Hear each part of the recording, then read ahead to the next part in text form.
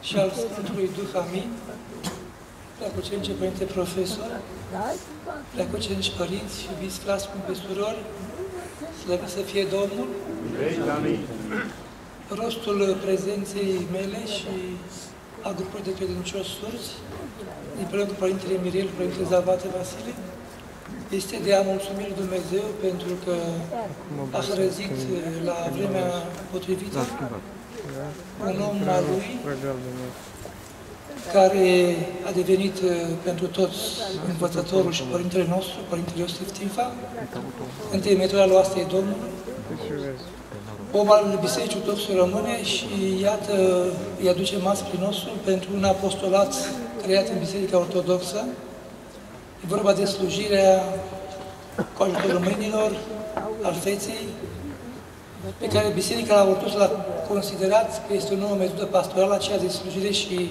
comunicare prin limbaj microgestual,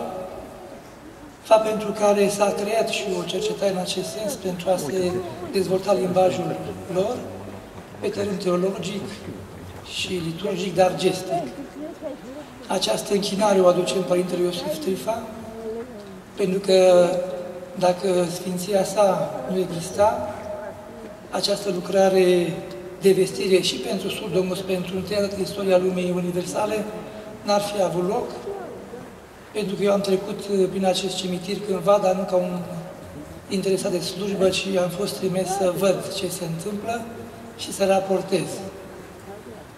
O situație delicată pentru un om care te trimis într-un cimitir, te aștept să găsești o stare de tristețe, dacă nu o situație și o atmosferă sinistră, între cruci la o persoană pe care nu știi, nu ți-e dragă și cât de suportabil să fie postura ta de supraveghetor al discursului pentru a putea să trecă, treacă cu bine parcursul acelui eveniment. Dau slavă lui Dumnezeu că felul în care această slujbă s-a desfășurat a transformat mormântul acesta și moartea în sine într-un loc de viață dătător. Dau slavă lui Dumnezeu că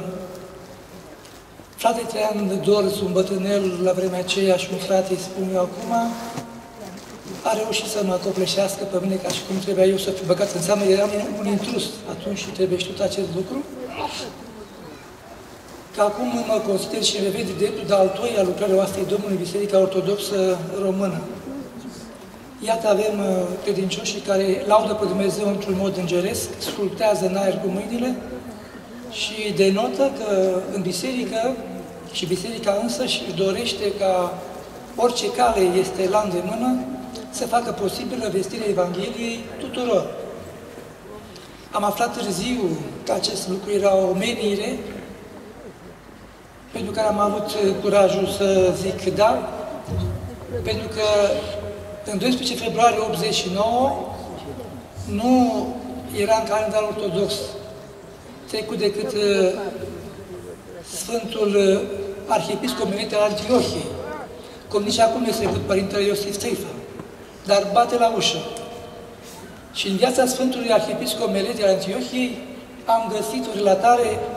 care a stat la baza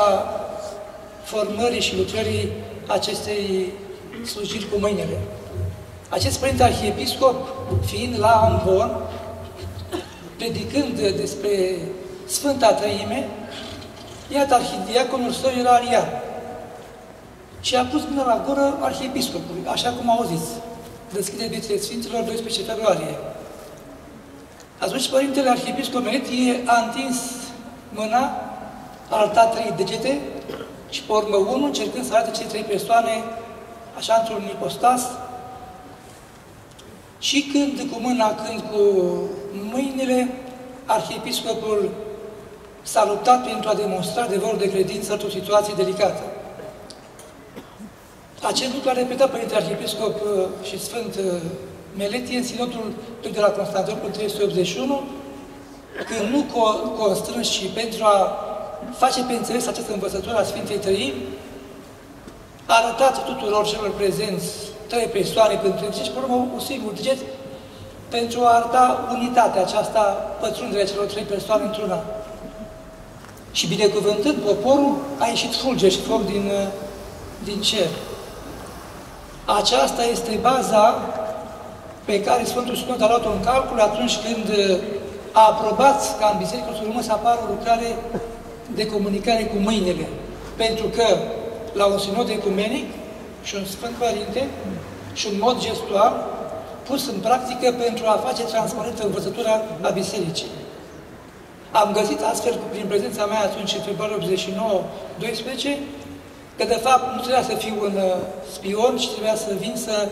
mă trezesc eu, să-mi găsesc un rost în Biserica Bună Străbună, prin lucrarea oastrei Domnului. Și printr-o primaită preocupare de a pătrunde actul profund și uh, inegalabil, dar uh,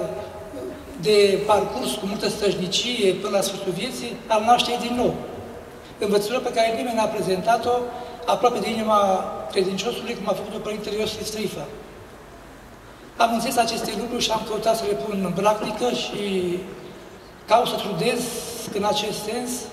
și să nu las ca să se piardă o oportunitate. Pentru că în 1923 s-a început uh, o lucrare de renaștere a unei biserici și a unui neam. În același timp, uh, uzurpatorii și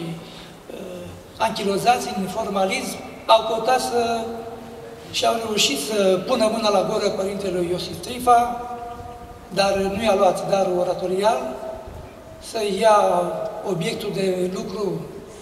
tipografia, dar nu i-a luat scrisul și majestatea și actul majestat prin care, majestos prin care se exprima, i-a luat și haina lui și harul și n-a avut ocazia ca Sfântul Arhiepiscop Menetie să se afle într-un sinod, în niciun caz ecumenic. De aceea vrem să ne face datorită misiune și slujire ca ceea ce demonstrat sau arătat sau pătruns în ființa fiecăruia în parte de a reprezenta pe Sfântul Părinte Iosif Trifa printr-o parte din viața sa, prin toți cei care cred, aderă și simt în acest fel, pentru ca biserica să fie puternică. Dacă se intra sub boșervismul ateu, o astie puternică, necontestată și fără să fie dat la o parte temătorul ei, poate că pentru luptă prin baricadele cântării și rugăciunii era altceva, ar fi și noi și biserica. Dacă acum se va pătrunde la suflet acest mod ca fiecare să facă datoria pe cât este dat și arătat de la Dumnezeu prin inspirație pe care o asta o poate face, pentru că o văd ca un patriarhat al cinzecimii și fiecare poate petrece personal cinzecimii personală și își poate vedea mersul frumos pe care îl poate aduce lui Dumnezeu în Biserica Bună Bună prin lucrarea voastră Domnului, subliniem pentru a se înțelege că nu poți să explici învățătura decât dacă o trăiești. Și atunci surzii sunt prezenți aici și mulțumesc cerului pentru existența Părintelui Iosif Trifa, omul Dumnezeu, profetul de pe urma vremurilor noastre. Și încercăm să ne ridicăm pe cât ne este dat, cu timp și fără timp, în măsura ascultării de a aduce un rod în Duhul Sfânt. Pentru că Duhul Sfânt este partea esențială pe care Părintele Iosif Sifa ne-a prezentat-o, Duhul care dă viață și te, îți dă să te vezi, să te evaluezi și de aici încolo să-ți dorești lucrarea noastră din nou. Mulțumesc Domnului că dintr-un uh, intrus și dintr-un uh, spion am devenit uh, un slujitor acum aici, nu că eram acolo nepreoțit, dar eram trimis să fac un lucru rău și n-a fost după cum a fost vrăjmașul, ci planul vrăjmașului a fost de Dumnezeu și îl slăvesc pe toate, amin, slăvit să fie Domnul. Amin.